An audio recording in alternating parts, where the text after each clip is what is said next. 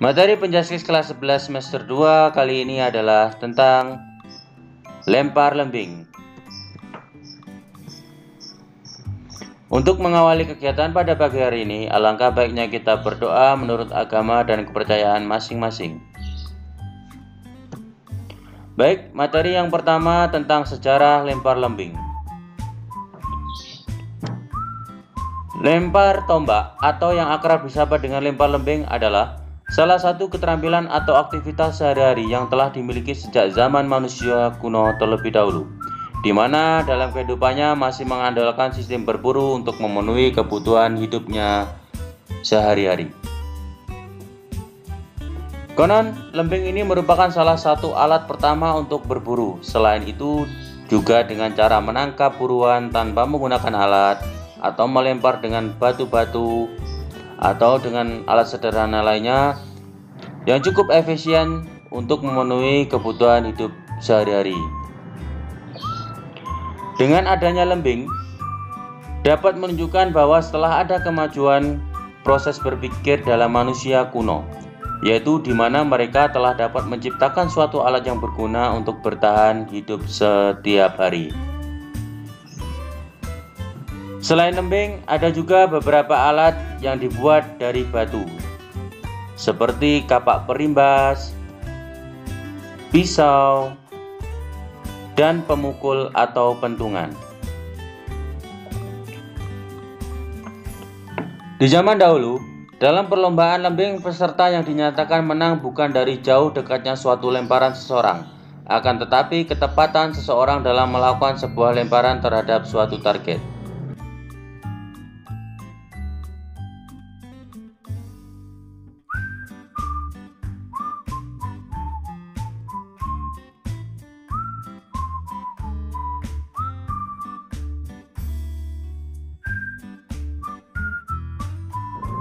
Jadi begini, di zaman dahulu, sistem lomba pada lempar lembing yaitu bukan diukur dari jauh dekatnya suatu lemparan seseorang, akan tetapi tepat tidaknya seseorang melempar pada target yang sudah disiapkan.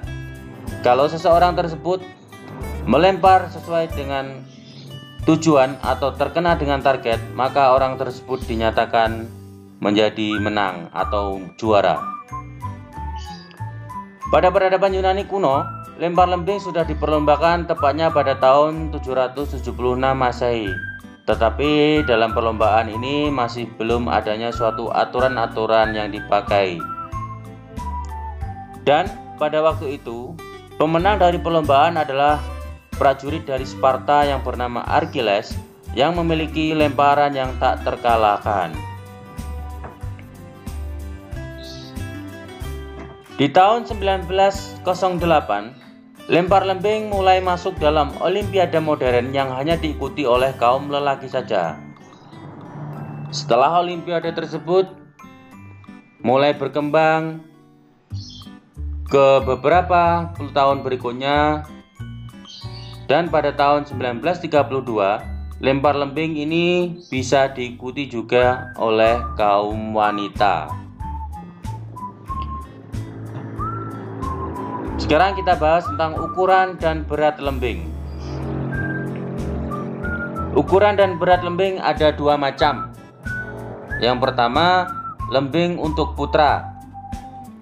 Lembing untuk putra memiliki berat sekitar 800 gram.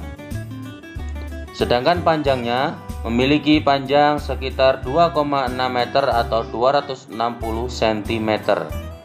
Sedangkan untuk lembing putri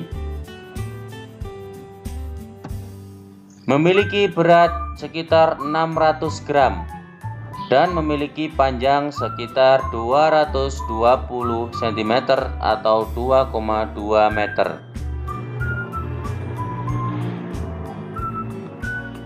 Ukuran dan panjang lintasan lempar lembing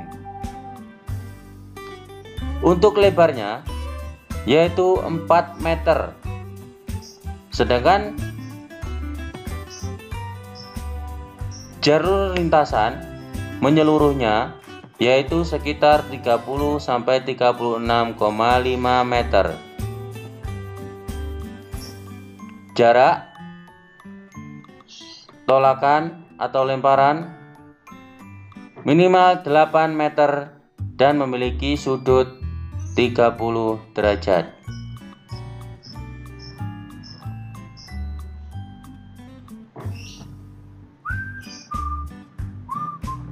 Ada berapa sih teknik memegang lempar lembing? Cara pegang lembing ada tiga macam cara. Yang pertama yaitu fork atau V grip. Yang kedua yaitu American grip.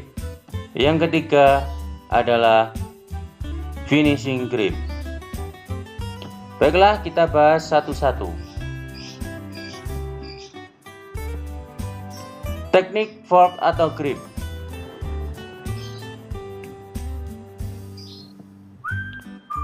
Teknik ini sangat mudah digunakan untuk pemula. Selain itu, tingkat untuk cedera kemungkinan sangat kecil.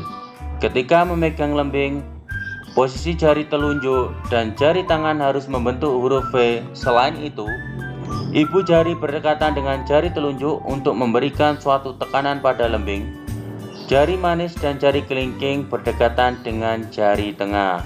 Nah, itu sekilas dari teknik fork atau grip. Sekarang kita ke teknik yang berikutnya. American grip. Teknik ini merupakan teknik yang paling umum sang yang sering digunakan oleh para pelempar lembing. Dibanding dengan V-grip, jenis pegangan ini cukup sulit untuk dilakukan. Selain itu, tingkat risiko cederanya juga cukup tinggi.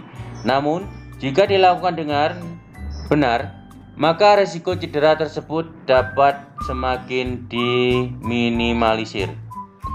Untuk jarak antara jari telunjuk dengan jari tengah agak jauh, sedangkan posisi ibu jari letaknya di sisi yang berlawanan dengan keempat jari lainnya. Yang ketiga yaitu finish grip.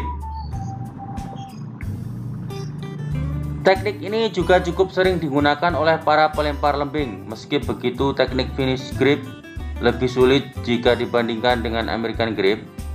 Teknik ini hampir mirip dengan American grip akan tetapi secara garis besar memiliki perbedaan.